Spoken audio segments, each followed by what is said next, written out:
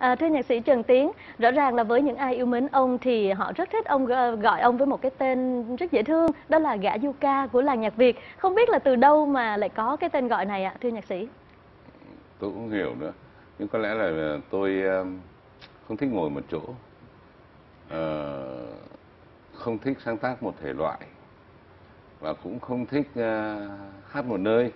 Ừ. Tôi cứ vừa đi à, vừa nghĩ ngợi vừa gặp cuộc đời và ngẫu hứng lên thì sáng tác sáng tác xong lại hát hát lại đi ừ. thì có lẽ vì thế mà à, du ca mà vừa đi vừa hát mà nên là cũng có thể là cái ban nhạc đầu tiên tôi thành lập là ban nhạc du ca đồng nội à. chúng tôi đi hát trên một chiếc xe jeep ừ, tôi mua được rồi ba anh em cứ thế mà đi lang thang khắp đất nước hát lấy tiền cho trẻ mồ côi Hồi đó tôi nuôi 25 em với em bé một côi. Ừ.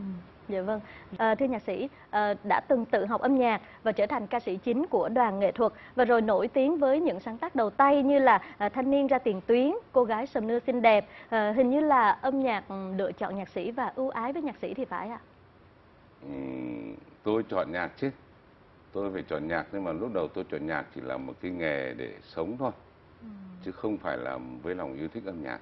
Vâng lúc đó thì tôi uh, làm cái nghề bốc vác âm thanh rồi là đánh si đánh giày cho các ca sĩ nổi tiếng ừ. làm những cái công việc uh, những công việc phụ của một đoàn văn công chỉ để mà kiếm sống thôi thế nhưng mà rồi thì uh, sống trong môi trường nghệ thuật thì tôi tôi nghĩ rằng lúc đó tôi học rất là giỏi mà tôi lại phải đi làm những công việc tay chân này thì chưa xứng đáng lắm thế là tôi cố gắng tôi học ừ. học hát chứ không chưa học nhạc. Thế rồi thì à, à, cũng viết hai bài hát đầu tiên là thanh niên ra tiền tuyến và cô gái sầm đứa xinh đẹp. Dạ. hai bài hát đó tôi viết thì khi tôi còn chưa biết ghi âm đốt nhạc ừ. nhưng mà sau đó thì à, thì tôi quyết định là đi theo nghề sáng tác bởi vì nghề hát thì ông anh tôi ông Trần Hiếu đã nổi tiếng quá rồi mà tôi đi đâu cũng bị mang tiếng là em ông Trần Hiếu. Dạ. chứ chả bao giờ có cái tên riêng cả thế mà tôi quyết định tôi đi học sáng tác thì uh, sau khi tôi đi chiến trường về thì tôi học 8 năm trong, trong trường đại học và tốt nghiệp hai bằng một bằng giao hưởng và một bằng thanh nhạc ừ. thế thì tức là tôi có học đàng hoàng Dạ vâng thưa nhạc sĩ, à, với hai bài hát là Thanh niên ra tiền tuyến và Cô gái sầm nưa xinh đẹp thì hình như là hai ca khúc này đều nhận được giải thưởng thì phải ạ? Ừ, không, một thôi. Thanh niên ra tiền tuyến, đó là bài đầu tay của tôi. À, mà tôi cũng không có gửi bài này. Lúc đó tôi đang chiến trường về yeah. Dạ. trong một cái cuộc giao lưu gì đó với anh em nhạc sĩ ở hội thì tôi hát bài này thì mọi người trong đó có nhạc sĩ Đỗ Nhuận lúc đó là tổng thư ký của nhạc sĩ thấy bài này hay. À. thì ông ấy bảo thế bài này đâu đưa cho cho cho cho tôi. Thì ờ, tôi bảo nó ở trong đầu. Tôi chưa viết ra ra mà. Tôi có biết viết nhạc đâu mà viết. Lúc đó tôi còn trẻ mà lúc đó tôi có 17 tuổi thế là ông ấy không biết ông tìm cách nào nói với cái người mà đệm nhạc cho tôi ấy, là anh sĩ ừ. năng anh kéo ừ. có ông thì thế nào rồi ông có bài rồi tự ông ấy đưa đưa vào cái cuộc thi nào đó tôi không biết ừ. chỉ có một điều là một ngày nào đó thì tự nhiên trong đời tôi một thằng trẻ con 17 tuổi tự nhiên có một ông nhạc sĩ già mà là thần tượng của thế trẻ hệ trẻ hồi đó là nhạc sĩ Đỗ Nhuận ừ. đến gõ cửa và tiến ra đây mà nhận giải thưởng tôi nhớ là cái gì thì tôi không biết nhưng mà cái số tiền nó lớn lắm lớn lắm so với cái tuổi của tôi hồi đó dạ vâng. nó có thể bằng uh, có thể bằng một 10 lần tháng lương của một cán bộ nhân viên Vâng thưa nhạc sĩ à, và từ à, sau hòa bình năm 75 thì à, nhạc sĩ tiếp tục thành công với các giải thưởng như là giải nhất 10 bài hát được quần chúng yêu thích do báo Tuổi trẻ thành phố Hồ Chí Minh tổ chức, rồi giải thưởng nhạc sĩ được yêu thích nhất 10 năm sau giải phóng do Hội nhạc sĩ thành phố Hồ Chí Minh bình chọn và còn giải nhạc sĩ ấn tượng Sài Gòn 300 năm nữa. Có phải đây chính là cái giai đoạn nở rộ nhất trong sáng tác của nhạc sĩ hay không ạ? Tôi cũng nghĩ vậy nhưng mà um, cái sự nở nở rộ ấy thì là người với người nghe thôi ừ. chứ còn thì tôi vẫn cứ viết đều đều từ ấy năm ừ. tôi viết cứ một năm vài bài năm vài bài năm vài bài viết rất ừ. đều chứ không viết cùng một lúc ra quá nhiều mà mấy năm liền thì không ra thì công việc sáng tác của tôi giống như đi cày ruộng mà yeah. Dạ. cứ phải cày cày đều đặn cứ mùa mùa lúa hai mùa thì phải hai mùa ba mùa thì phải ba mùa thế còn thì cái sự nổi tiếng của tôi vào những cái năm 80 80 82 8 tức là 10 năm 80 90 ấy ừ. thì là bởi vì tôi nghĩ rằng là lúc đó là đất nước ta mới hòa bình những người viết đang còn phải lo đi vào Nam để mua được chiếc xe gắn máy mua được cái tủ lạnh cái tivi và ổn định một cuộc sống của những ngày bình yên đầu tiên ừ. thì lúc đó thì tôi không có đi buôn đi bán mà tôi chỉ tập trung vào lao vào tôi học tôi viết ừ. thế vì vậy mà những ca khúc của tôi lúc đó thì nó ra một cách ảo ảo ừ. thì, ờ, thì cũng là một điều mà rất lạ chính tôi còn không hiểu tại sao tự nhiên tôi viết bài nào mà bà con cũng thấy thích thế là tôi cũng mừng Dạ vâng. À, thưa nhạc sĩ Trần Tiến, có thể nhận thấy là trong ờ, các sáng tác của ông thì đề tài về người lính rất là đậm nét trong những cái sáng tác này. Như là trong các bài hát là vết chân tròn trên cát chiếc vòng cầu hôn hay là chuyện tình thảo nguyên. À, ông có thể chia sẻ thêm về điều này ạ bởi vì tôi bởi vì tôi sinh ra tôi sinh ra và lớn lên trong cái cái cái, cái những cái vui buồn của đất nước cái ngày mà vịnh bắc bộ bị uh, ném bom ấy ừ. thì chiến tranh phá hoại bắt đầu ấy thì là chúng tôi vừa mới tốt nghiệp lớp 10 phổ thông yeah. và tốt nghiệp lớp 10 phổ thông xong là đi tất cả đều tất cả thanh niên hồi đó đi ra chiến trường hết ừ. đi lính hoặc là đi thanh niên sung phong hoặc là đi đội cầu những cái đội cầu ở những cái nơi mà bom đánh nhiều nhất ừ.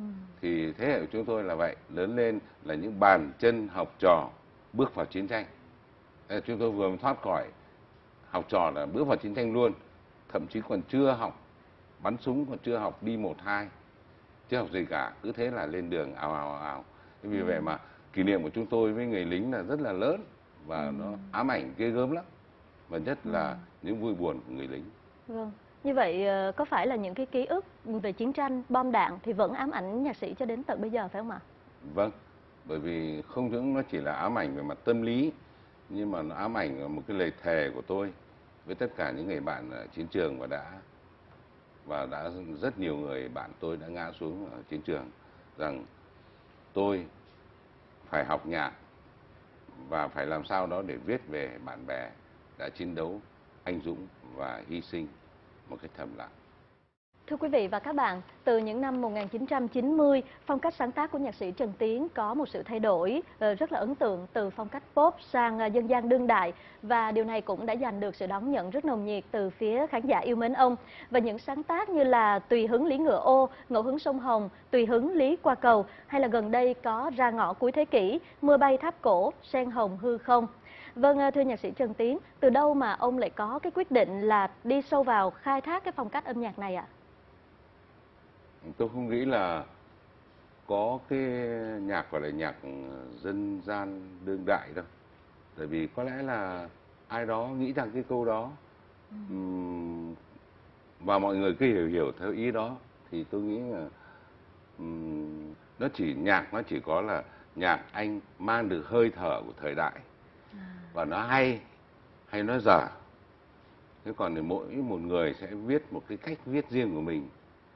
Tôi cũng như giống như nhiều nhạc sĩ là bao giờ cũng có một cái cái cách riêng của mình. Không bao giờ viết theo một bất cứ một phong cách nào đã được định định đoạt sẵn ừ. thì thì mới trở thành ra mình được. Ừ. và tôi có con đường của mình. Con đường của tôi là con đường không có con đường. Giống như tôi cứ đi tôi cứ đi ví ta rẽ ngẫu hứng ta rẽ vào một khu rừng rồi ta lấy cái phảng ta chặt phạt cỏ để ta đi một con đường đi tìm một cái gì đó thì đó là những cái cái bất ngờ ừ. bất ngờ nó chỉ nằm sâu trong rừng rậm chứ nó không nằm trên những con đường mà ta đã có ừ. mà ta đã có thì thì có nói chuyện gì nữa à thế thì vì vậy mà âm nhạc nó vậy âm nhạc nó vốn là ngẫu hứng ừ. thì tôi cứ viết thôi tôi không bao giờ tôi nghĩ rằng là tôi định làm phong cách gì cả. Cứ viết cảm xúc mình thế nào viết nhưng mà luôn luôn luôn luôn phải mới mới với chính mình. Không bao giờ đi vào một cái nét gì hoặc một cái cách gì của bài trước cả. Dạ vâng, và chúng tôi cũng hiểu là cũng chính vì vậy mà mới có được một nhạc sĩ Trần Tiến với cái phong cách của riêng mình. Thưa nhạc sĩ Trần Tiến, trong các bài hát như là Giấc mơ Chapi, Chuyện tình Thảo Nguyên hay là Vết chân tròn trên cát thì người ta đều thấy một cái hình ảnh là một người con trai ôm đàn hát. Vậy thì không biết là liệu có cái sự liên kết nào uh, giữa hình ảnh của nhạc sĩ Trần Tiến ngoài đời với lại hình ảnh của chàng trai ôm đàn hát trong những cái tác phẩm này hay không ạ? À? Phát hiện hay đấy. Tôi cũng không để ý chuyện đó đâu. Có lẽ có lẽ nó có một cái gì đó đấy, nó gắn kết với nhau đấy. Dạ. Ừ. Bởi vì viết bài hát là hay viết về cái mà mình thích mà. Tôi thích ờ, ôm đàn đi hát thì tôi mang tất cả các nhân vật bài hát tôi cũng phải ôm đàn chắc vậy. Phát hiện hay đấy. Vâng. Ừ, không ngờ rằng đây cũng chính là một phát hiện mà bây giờ nhạc sĩ Trần Tiến mới ờ, được nghe phải không ạ? dạ vâng, à, thưa nhạc sĩ Trần Tiến, có lần thì nhạc sĩ đã từng tâm sự rằng à, người bạn đời của ông là một người phụ nữ hết sức đảm đang và luôn giúp ông thoải mái để mà sống trọn với cái niềm đam mê âm nhạc của mình. À, như vậy thì không biết là đã bao giờ nhạc sĩ đưa hình ảnh của người bạn đời của mình vào trong những cái sáng tác của mình hay chưa? Ừ, thực sự ra một sáng tác ấy mà đưa những nguyên mẫu ở trong chính cuộc đời của anh ấy vào ờ, vào bài hát của mình ấy thì sáng tác nó là nghiệp dư dạ ừ. ờ, văn học cũng vậy ờ, ờ, hội họa cũng vậy âm nhạc cũng vậy là chuyên nghiệp là phải nghĩ ra cái mà không có ở trong cuộc đời của anh ừ. ừ thì như vậy thì nó mới là chuyên nghiệp nếu không thì anh chỉ viết được một hai bài tặng người yêu rồi tặng ai đó rồi thôi không viết được nữa ừ. ừ. dạ vâng À, vâng thưa nhạc sĩ, như vậy thì à, nhạc phẩm Chiếc vòng cầu hôn không biết có phải là ra đời trong cái thời điểm mà nhạc sĩ à, và người bạn đời của mình quen biết nhau để rồi tiến tới cuộc hôn nhân hay không ạ? Không. Bài hát Chiếc vòng cầu hôn là tôi viết về một mối tình của một cô gái với một người lính à. mà mà mà tôi gặp ở vùng cờ ho. À. Chuyện của người khác, à, không phải chuyện à? của tôi. Dạ vâng, xin cảm ơn những chia sẻ hết sức thẳng thắn của nhạc sĩ. Thưa nhạc sĩ Trần Tiến, nếu như mà nói về những cái giải thưởng âm nhạc thì có thể nói ông là một trong số những nhạc sĩ được nhận nhiều giải thưởng âm nhạc nhất. Tôi không nhớ lắm chuyện đó đâu. Nói chung là tôi ờ, người làm nhạc thật sự không để ý những giải thưởng đâu. Chỉ là chỉ ý duy nhất là mình còn có thể viết được bài gì nữa, thế đó. Dạ. Vâng. À, ngoài ra thì hình như là nhạc sĩ cũng có viết nhạc phim đúng không ạ? Vâng. Tôi viết được hai ba cái đấy dạ. tóc gió thôi bay phim tóc gió thôi bay điều khúc tình yêu viết cho phim dừng lạnh em vẫn như ngày xưa viết cho phim vị đáng tình yêu của vâng. lê hoàng dạ vâng à, và khi mà sáng tác nhạc cho phim thì nó có khác khi mà ông sáng tác nhạc với những cái cảm xúc thật của mình hay không ạ không hoàn toàn là là một thôi nhưng có điều là làm nhạc phim ấy rất khó là nó phải căn giờ căn giây căn phút rất kỹ cho à. những cái những cái sen phim yeah.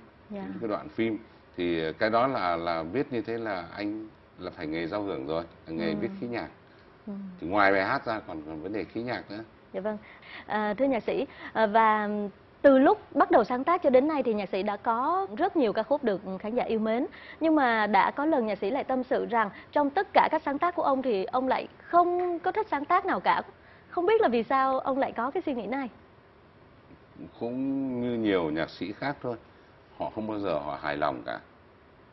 Với với ca khúc của mình tôi cũng không phải là không hài lòng tôi cũng hài lòng một vài đoạn nào đó ừ. hay là một hai bài nào đó thôi trong cái cái cái khối lượng viết của mình thôi. Mà có không hài lòng thì tôi mới có thể viết được nữa.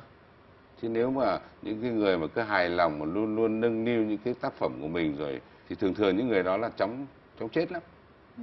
còn những người mà không coi những ca khúc mình đã viết là cái gì cả tất cả đều vẫn đang ở trước mặt thì ừ. thường thường những người đó viết rất dài lâu. Dạ. viết rất dài đời rất dài vâng. nó không phải là nhạc sĩ của một hai ca khúc Dạ vâng. Và trong những ngày gần đây thì những người ờ, yêu nhạc đã được gặp lại nhạc sĩ Trần Tiến uh, trong chương trình Như chờ từng giấc mơ uh, với những ca khúc đã làm nên tên tuổi của ông. Và chương trình này có ý nghĩa như thế nào trong cuộc đời làm nghề của nhạc sĩ ạ? tôi thấy là rất có ý nghĩa bởi vì thực ra thì tôi tôi nói với các bạn rồi là tôi chả thích gì live show cả. Nhưng mà đợt này khi tôi ra Hà Nội ấy, thì tôi gặp được các nhạc sĩ trẻ như là Huy Tuấn à, như là anh Quân chồng của Mỹ Linh như là Hồng Kiên. Các bạn ấy quyết định là bỏ tiền túi ra làm đêm nhạc Trần Tiến bằng cái sức trẻ trong phối âm phối khí trong cách nhìn âm nhạc của trần tiến và với những giọng ca 8x 9x không à? Và để đưa cái nhạc vốn là đầy bụi đời vào nhà hát sạch sẽ sang trọng khoác cho cái âm nhạc của tôi những bộ com lê đắt tiền. Và đã những bộ com lê đắt tiền thì vé rất đắt tiền hai triệu rưỡi vé. Và tôi nhớ là cái đêm cuối cùng là ở ngoài bán đến 6 triệu một vé. Thì uh, tôi cũng không ngờ là các em làm việc rất tốt và hát rất hay. Và hai đêm đúng là như báo chí nói đấy đúng là một sự nổ tung ở hà thành. Thế nhưng mà chỉ có một điều hạnh phúc rất hạnh phúc. Nhưng sao tôi cứ ái ngại một điều? Tất cả những ca khúc của tôi viết cho những người lính bạn tôi. Bạn tôi có bao giờ đủ tiền để mà đi xem? Ừ. những bài hát của tôi viết cho những số phận nghèo giống tôi. Những người quét rác, những thời sinh viên nghèo khó, viết về những trẻ ăn xin, những cái số phận bất hạnh, hầm hiu cuộc đời thì những người đó không bao giờ có tiền để đi xem cái đêm nhạc này cả. Thế vì vậy, hạnh phúc thì hạnh phúc đấy mà đắng cay thì đắng cay đấy. Tôi vẫn có một cái ước mơ một ngày nào đó, ai đó có thể bỏ tiền ra để cho tôi làm và tất cả bạn bè tôi làm một cuộc du ca đích thực cuối cùng. Không bán vé, không quảng cáo cho ai cả. Không bán vé, không làm từ thiện luôn. Là cứ hát cho nhân dân. Ai thích nghe đêm nhạc của tôi thì đến nghe, không phải mất tiền. Thì đấy là một cái hạnh phúc lớn nhất trong đời tôi. Tôi sẽ đi xuyên việt lần cuối cùng với những cuộc du ca đích thực như thế. Nhưng mà âm nhạc thì là phải cực kỳ hoành tráng. Ít nhất là như hai đêm như chờ từng giấc mơ. Vâng và chúng tôi cũng mong là ước mơ của nhạc sĩ cũng sớm trở thành hiện thực để mà những người yêu nhạc sẽ có dịp thưởng thức tất cả những cái ca khúc của nhạc sĩ. À, vâng, xin được cảm ơn nhạc sĩ về những cái chia sẻ rất là thật trong ờ, chương trình ngày hôm nay.